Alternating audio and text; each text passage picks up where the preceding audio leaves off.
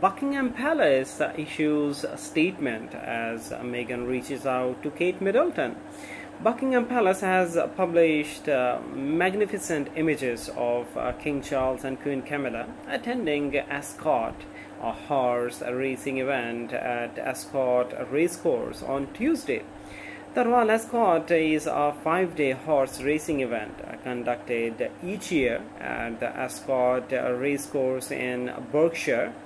Uh, according to the Daily Mail, uh, the event is popular among many royals, including the late Queen Elizabeth II, uh, who uh, famously enjoyed the race.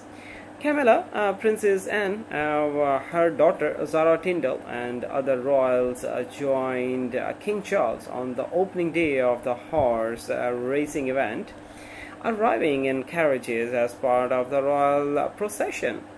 Uh, Princess Eugenie and the daughter of uh, Prince Andrew uh, and uh, Sarah Ferguson also attended the occasion.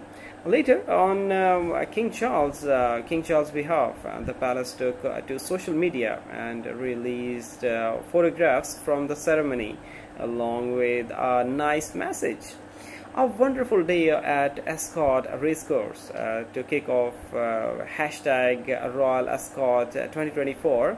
Uh, the announcement adds, um, "This is the this is the royal family's first social media statement uh, following allegations that Meghan Markle and Prince Harry had reached out to Kate Middleton to repair their split."